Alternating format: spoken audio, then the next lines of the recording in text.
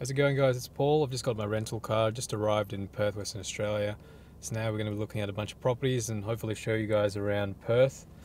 And uh, yeah, just make some more content, more videos. And this is the suburb of Orelia. And median house price here sits, well house price, what I saw ranges between 400 to 550k for houses. Units probably somewhere in the lower end, 400k. So this is one of the more um, outer ring suburbs of Perth. This is close to Wellard, I would say. And generally, outer ring suburbs tend not to gain from capital growth, but as we've seen in the past couple of years, we're seeing a lot of housing value go up. So we're just going to suss it out, check out this housing market here. So this is a fairly quiet suburb. This is what you'd expect to see in some of the more outer ring suburbs of Perth delinquent kids walking around, just uh, doing some graffiti.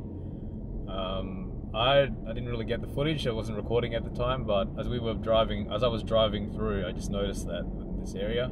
So those are some things to keep in mind, like crime rates, um, amenities, and just demographics of the local area all these different suburbs. Next suburb I plan on going to would be Wellard. It's To your right here in this footage, you're going to see a bunch of, I think these are units or villas, and these are generally priced around 400k, 450k range. On, your, on your left side here, I'm just going to park here while I set up.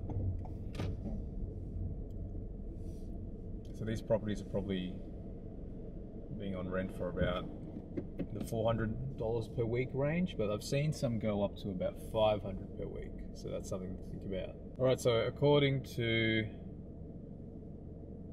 REIWA, so just REIWA is basically a real estate website that co covers investment property prices.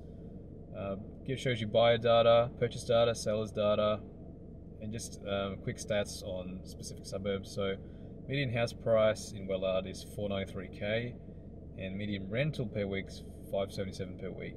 So yeah, so going down further, suburb prices for a house to buy is 492k, rent 577 per week.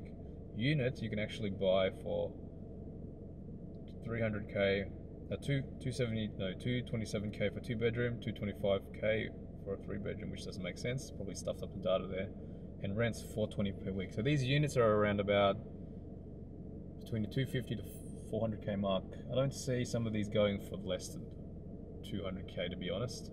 So right now we're in Wellard area. Right. So again, Wellard Village.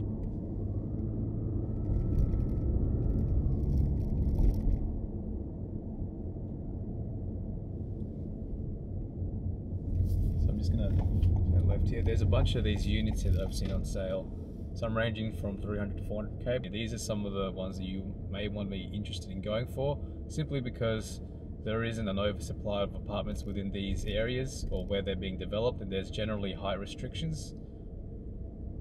And you're not going to be faced with competing with other sellers or investors.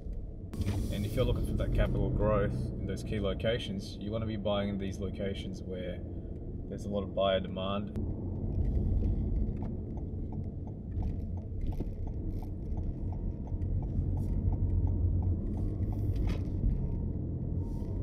Most of these developments seem to have that little frontage, like a brick or masonry uh, fence or facade that separates the property from the public area.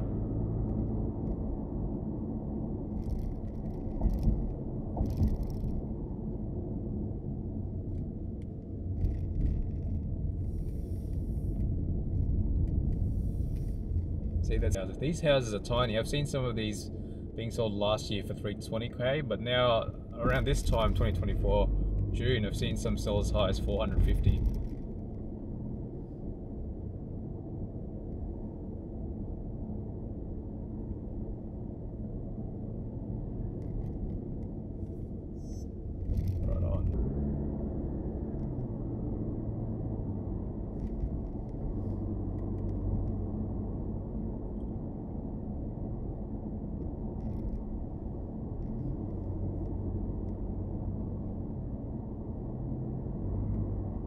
Because I was talking to a couple of people uh, that I know within the Perth area who are looking to buy their first property, and they're always com- like every inspection or every established property, they're trying to, they're just essentially competing against people that are from interstate or buyers agents who are always who are on FaceTime or just on a video call with their clients, and they've noticed that there's at least half of the people doing the inspections are from the eastern states or are buyers agents essentially. So that's what's going on in Perth right now. Okay. I'm to show you these properties. So these are probably definitely somewhere within the 600 plus range. Again, it could be wrong, but small blocks, decent looking houses. These three in front of us.